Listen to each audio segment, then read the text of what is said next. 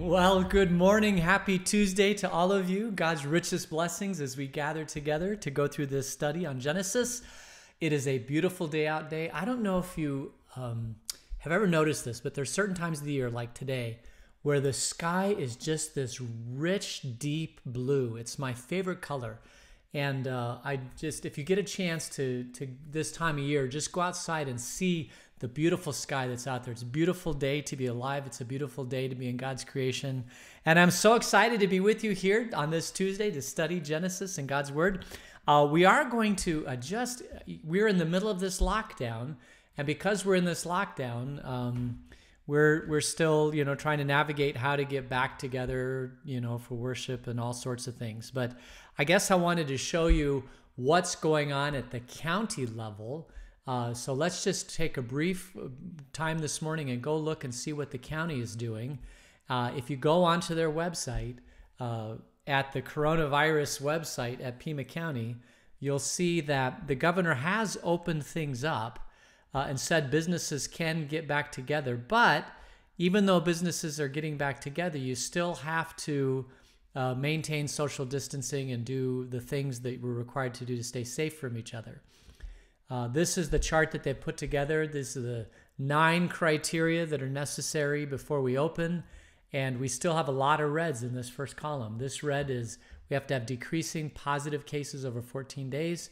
This one is sufficient personal protective equipment for healthcare workers. This one is contact tracing, and this is uh, testing. And those things aren't ready yet. Once these all move into the green, uh, then I think uh, pretty much the economy can go back to normal normally. But until then, we're still kind of in this transition area. And this is the one we all struggle with because it says uh, for individuals, no groups greater than 10. But then over here on the right, it says that large venues, restaurants uh, begin to operate with appropriate physical distancing. So I guess a church can operate with appropriate physical distancing as long as there's no groups greater than 10. So that's that's this gray area, and some churches are you know trying to uh, figure this out and try to do great things. Our staff is working phenomenally well to try to figure this out, and I'm so proud of them. Uh, and we are going to lay out a plan that you'll all um, uh, be able to see very, very shortly. So um, that is kind of where we are uh, for the present time. And also, uh, we also have this wonderful uh, thing happening on Sunday. Uh, we're going to do this. Um, uh, it's called Community Sunday, but what I'd like you to consider is to be a part of it. we're going to lay it out on Sunday, but in order to be a part of that, uh, you have to, uh, it is recommended, it's very strongly recommended that you provide information as far as where, um, uh, how you can connect, whether or not you can connect through Facebook, whether or not you can do a Zoom call, all those other things. And so um, I'm putting a link uh, on the website showing where that form is. If you could click on that form and uh, and get into the system, and that way we can see kind of the best way to uh, to get you connected for Community Sunday, which is happening this Sunday. All right, so those are kind of the announcements. If you're here this morning, you please say hi and uh, let us know that you're here. And uh, God's richest blessings on your day. We are studying the book of Genesis. Oh, I should tell you, it's my my youngest daughter Lydia's birthday today. So I'm so happy. I'm so proud of her. She's wonderful. She's living in Minnesota and uh, her husband is in the military, going to be deployed here pretty quick. Um, so um, we're uh, we're just very uh, excited, uh, but also saddened about that. Anyway, happy birthday to my beautiful beautiful daughter. Uh, so uh, we are in the book of Genesis, and. we've spent the last five, six, seven days in Genesis 1 and 2, but today we're leaving Genesis 2. Genesis 2, at the end of Genesis 2, we have a man and woman in the garden uh, with God, uh, with all the food they would need. The all the, they, they don't need shelter, you know, because it's a temperate temperature in the garden. And um, I guess I, I hate to leave Genesis 2. I mean, we're going to leave Genesis 2, but it's always sad for me to leave Genesis 2 because uh, it's this it's this time when mankind, you know, man and woman living in the garden, living in this time where they're where they know that, that God is there, that He's going to look after their every need. Uh, it's almost like when you've got a little kid, right? Uh, your child or your grandchild, and they're walking between mommy and daddy, and they're holding their hands, and mommy and daddy are swinging them. You know, a two-year-old, a three-year-old, and the the three-year-old all the three year old cares about is mommy's there and daddy's there and I'm protected and I'm safe. That's uh, there's no other worry in the world. Now I know that there's temper tantrums and all sorts of things, but you know that feeling I'm talking about. You're at the park uh, and you're pushing your grandchild. You know, you're at the you're walking down the street holding onto your grandchild. I mean, all all the grandchild knows, all the child knows is that life is safe and life is safe because mommy and dad daddy are there protecting that child you know they're going to lay down their life they're going to do anything to protect that child well in the garden of eden we have someone protecting uh, us uh, mankind and that's the creator of the universe and so um, there's absolutely nothing to worry about it's life is good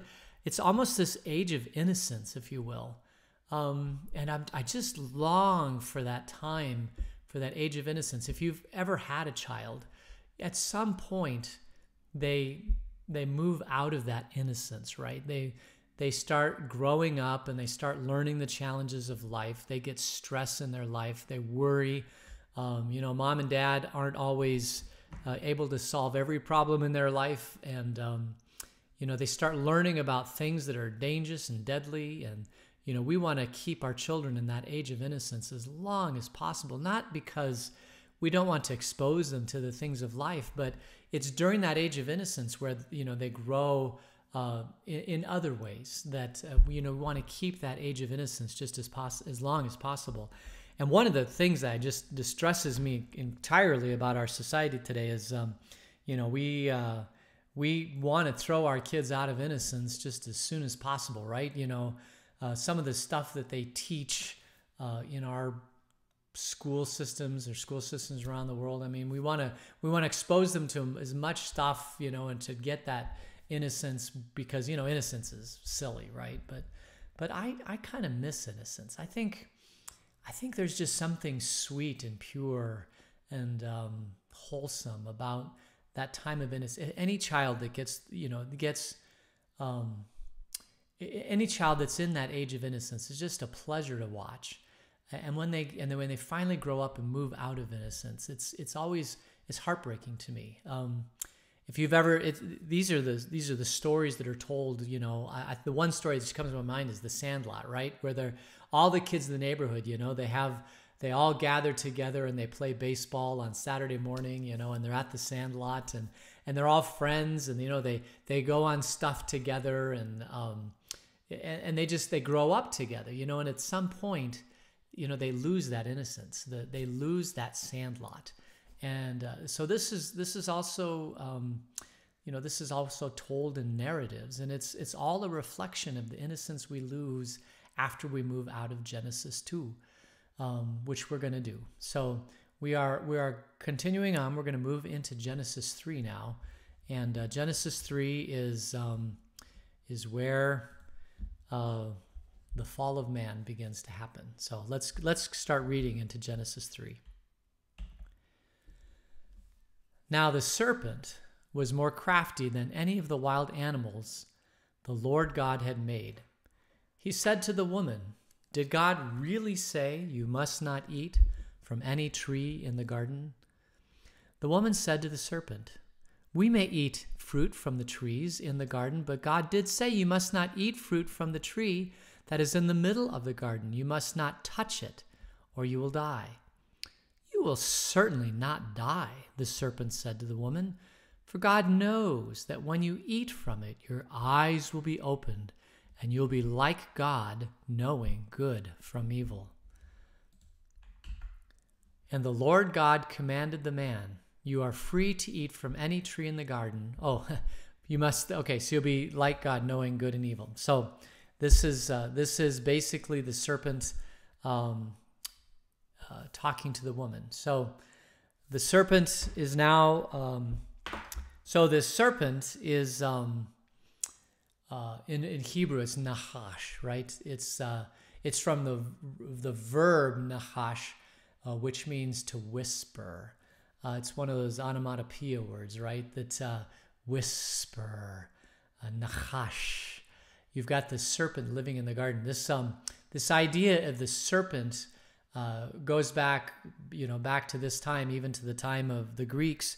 Uh, the the serpent is the whisperer or the divination person. Uh, you know, this divination creature. It's it's represented often by a snake. If you look at uh, if you look at early Greek culture, they put the snake on the staff, and that represented this special power that uh, of healing. You know, because you had this divination, you had this connection to God, and I think it's still used um, today, where you might see the snake wrapping around the staff that and you always think what in the world does that mean? Well that's this this idea of this snake that has this connection to uh, to the divine or to the divination right? To this the the otherworldly stuff that's out there. Um, witchcraft is part of this too right? Uh, it's a connection to the it's a connection to that other power that you can't see you can't touch but you know it's out there. Uh, and so that's that's why they put the snake on that herald staff or whatever it is that they have for uh, for medicine um, and uh, so this is the Nachash, uh, the serpent, and he's crafty than any of the wild animals and the Lord God. And he said to the woman, Did God really say you must not eat from the tree of the fruit of the garden? Right? And so um, we uh, we have this serpent comes up to, to Eve and and basically how does he get under her skin or how does he get her to doubt God, right? He he begins to get her to question whether or not God is truly um, in her best interest, right? Because when you are innocent, uh, when you live in this age of innocence, um, you, you you just trust God, right? You trust that God is to take care of your best interests, and if God is the creator of the universe and He puts you in a garden, you don't have any question. Of course, he's going to take care of your best interest. Uh, and even if he tells you not to do something, it's because it's in your best interest, right? Uh, and, and so the serpent, this whisperer, comes in and says, Well, did God really say that? Is God really after your best interest? Uh, and he begins to get Eve to question God. Um, and what does she say? She says, Well, we may eat from the fruit of the trees in the garden, but God said, You must not eat fruit from the tree that is in the middle of the garden. You must touch it, or you will die. Now, this is interesting because if we go back, I'd started to read this a little bit, but if we go back to look in Genesis 2, verse 16, uh, it says, And the Lord God commanded the man, You are free to eat from any tree in the garden, but you must not eat from the tree of the knowledge of good and evil for when you eat from it, you will certainly die. Now, what's interesting here is it doesn't say that you can't touch the fruit, right? God said you can't eat the fruit. That's what he told Adam. Now, remember, that happened before Eve came on the scene. Uh, and so God told Adam, do not eat the fruit.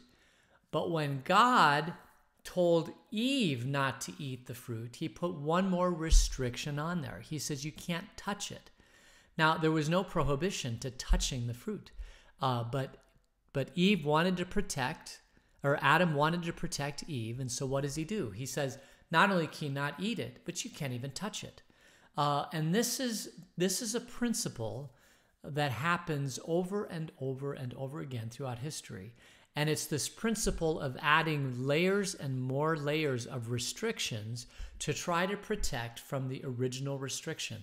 The original I guess, command by God. If you go back to the beginning, right? There's not even a 10 commandments yet, but we know that the two commandments are you've got to love God, you've got to love your neighbor. And the reason why you have to love God and love your neighbor is because we are created as social beings with a spirit. And because we're created as social beings with a spirit, uh, we are not complete unless we got, love God. We are not complete unless we love our neighbor.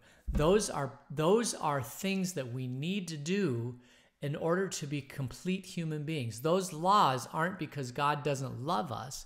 Those laws are there because God does love us.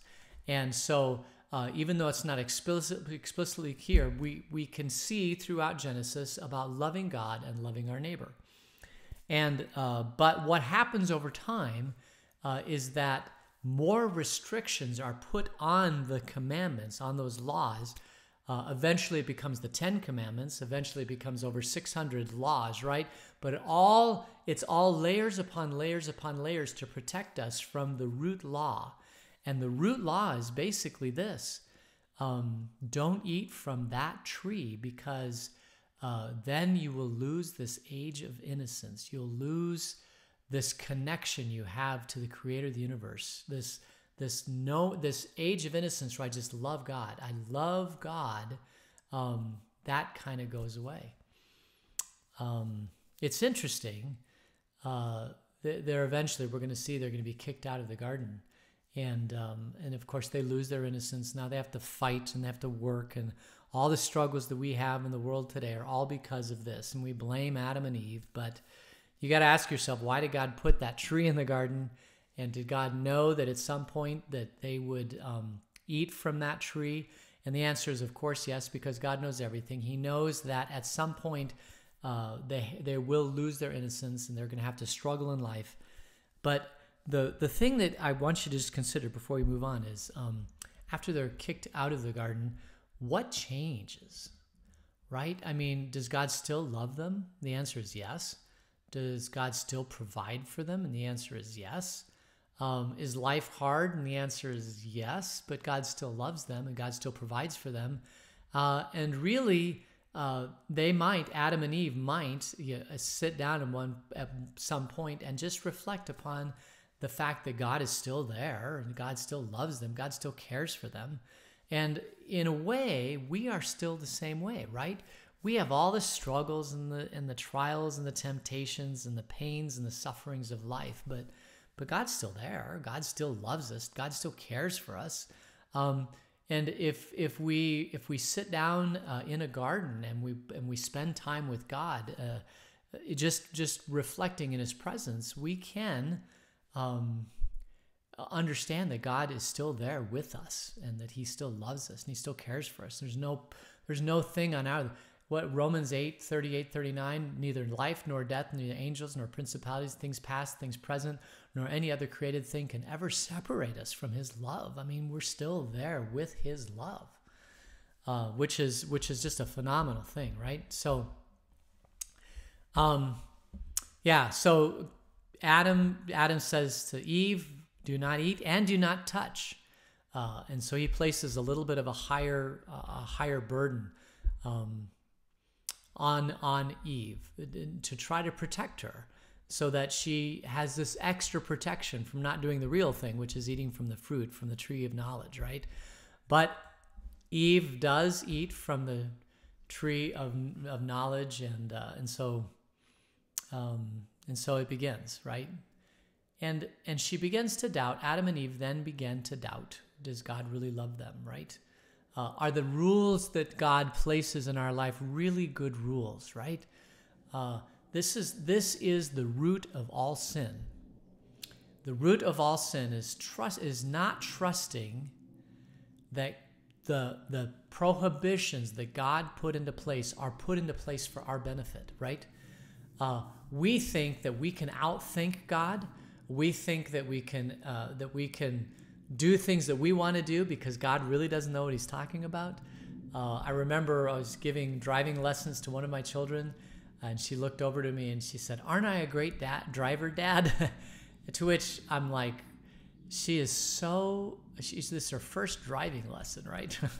and and already she thinks that she's got it all down and under control and all that sort of thing. And you know, I mean, at some level, yeah, she did get the car going forward and it stopped and we didn't die, right? I mean, so yeah, I mean, in, the, in that respect, nobody died. Yeah, you're a pretty good driver, but driving takes driving takes reflexes. It takes knowledge. It takes being put in tense situations that aren't necessarily the you know you know how do you deal with them and and these are all experiential things you become a really good driver after you navigate the world for a very long time and um, you you grow in your faith when you just simply follow God and His commandments and you're not entirely sure why He put these restrictions or prohibitions in place.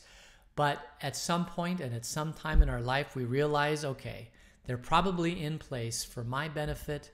Uh, and, and so I'm going to start following these. And then you start growing in your faith and you begin to see, even retrospectively, why God put some of this stuff in our life. And it's basically to protect us and then we become a good driver, right? Then we become a uh, a human that's more in line with how God created us than what can happen to us if we start following um, following the world. I was talking to somebody recently, uh, and they were telling me some of the some of the stuff going on in their family, and uh, and that was um, you know it.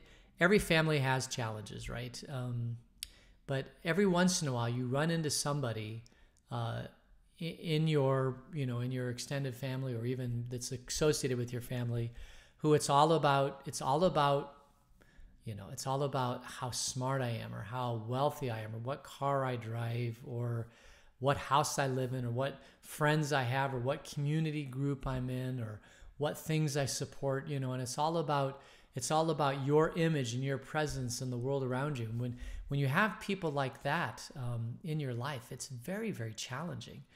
Uh, and and this is this is the impact of the world around you when you don't understand that there is a God who loves you, who created you, who has restrictions because He wants you to live the best life you can possibly live.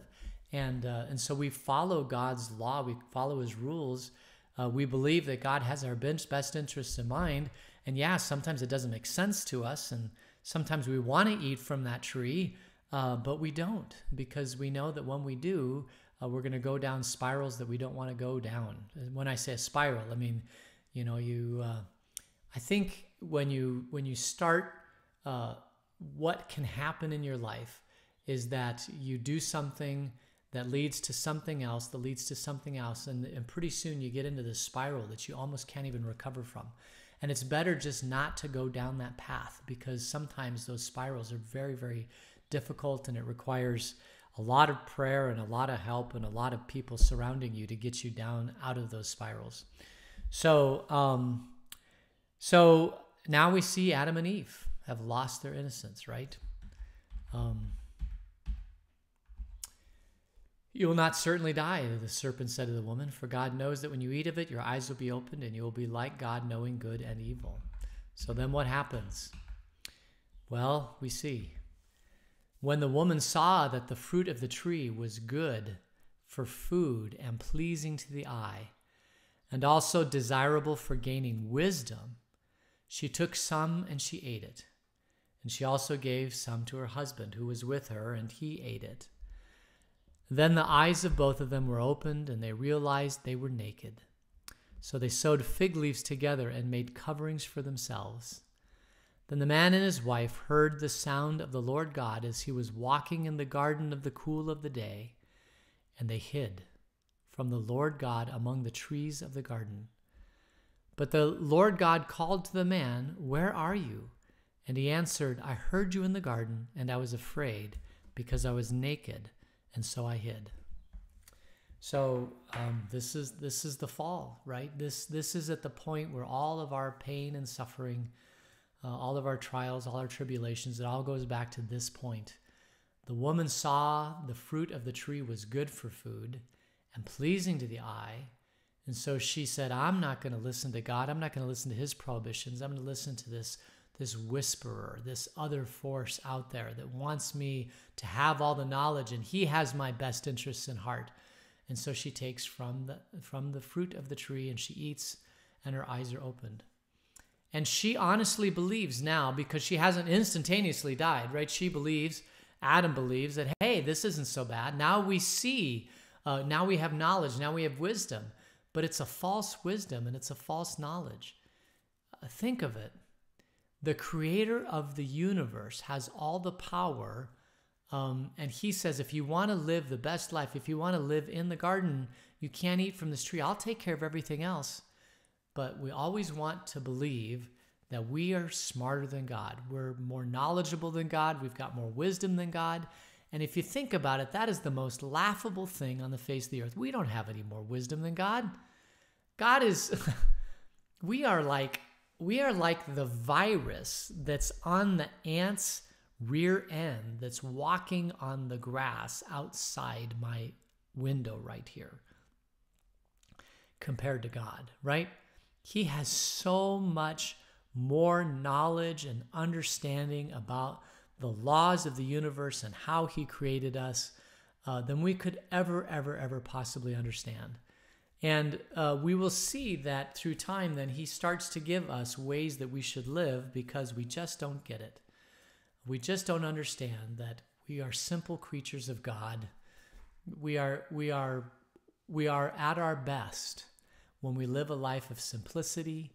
We are at our best when we simply hold on to God's hand and let Him swing us and know that we are in His presence, that He loves us, that He cares for us, that nothing can ever, you know, separate us from His love. He's still there. Um, but their eyes are opened. And what's the first thing they do? They realize they're naked, so they sew fig leaves. Um, so part of it is, um, you know, is this an actual naked or is this a metaphorical naked? I mean, when you understand things, now you are exposed to God, right? You understand that your heart is not pure. Uh, you understand that you have broken God's law. They see that they've broken God's law. Uh, and so they sow fig leaves, but they understand that they have failed in the one command that God gave them, which was not to eat from the tree, right? That you had one thing to do, uh, and they failed in that one thing. And so God's walking, and what do they do? Do they go out to God and say, God, hold my hand, you know, lead me through this? I've, I failed miserably. No, they don't. They hide from God. And we have been hiding from God ever since uh, because we are full of sin. Uh, we are full, I, we're not, you know, and it's not sin. Um, sin is a very large term. It means missing the mark, but basically it means that we have tried to believe that we understand this world better than God understands this world. We've we're trying to believe on our own effort and our own skills and our own wisdom and our own power to get through this life. Uh, and we can. We can muddle through this life holding on to our wisdom or our power, our strength or our wealth or our position in society or all these different things. And we have to if we're not going to rely on God.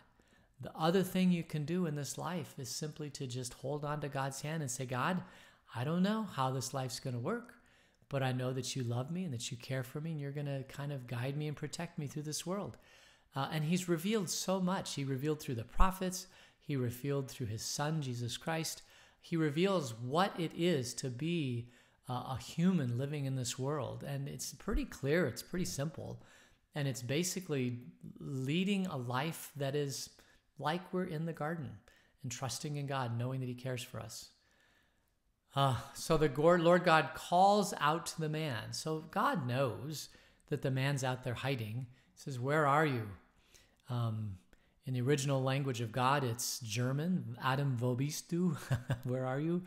Because God, right, is German. Um, no, we God's. I don't know what language God spoke, but He answered, "I heard you in the garden, and I was afraid, because I was naked, and so I hid.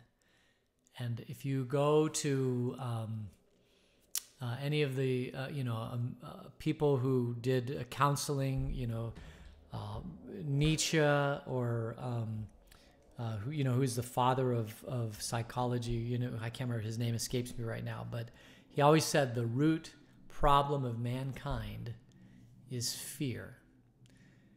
Fear of the future, fear of what's going to happen, fear of relationships, fear of everything. It all comes down to fear.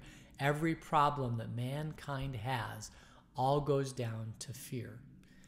And this is exactly where it happens. This is where fear enters into your life. It's where fear enters into mankind. I heard you in the garden and I was afraid because I was naked, so I hid. So Adam hid. So now we are people who now live in fear. We live separated from God. Um, we understand that uh, we don't have the wisdom of the world, but we want to try to rely on our own wisdom. And when we do, we fail. And when we fail, you know, we, we hurt people, we hurt relationships, and it all comes back to here. And this saddens me. This is this is where all the pain and the suffering that you've ever experienced in your life, any any loss of a relationship or loss of a, of a loved one, a spouse, a child, a grandchild, a grandparent, you know, a pet, um, a loss of a job. Uh, uh, if you've if you've ever gone through any struggle or trial or anything in your life, it all comes down to this point, and it, it is a sad it is a sad time for the part of humanity. But you know, we want to think we're better than God. And so we eat from that tree and we believe that we're better than God, that we're smarter than God, we're wiser than God. No, God God understands the human condition and he knows that we are the bug on the ground. So I think we'll leave here at the fall, Genesis 3 6 through 10, where we're naked and we hide.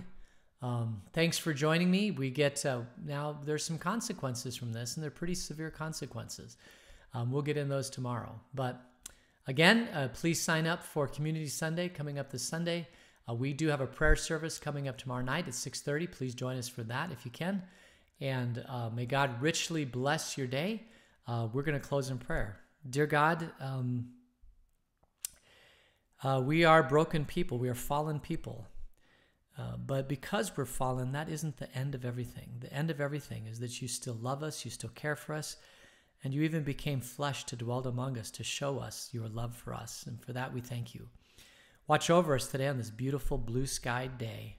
Keep us ever in your grace until we meet tomorrow. In Jesus' name, amen. All right, so that's um, that ends us for Genesis, this part of Genesis 2. And uh, I pray that God richly blesses you and keeps you. Uh, and we will see you tomorrow. Take care. Bye.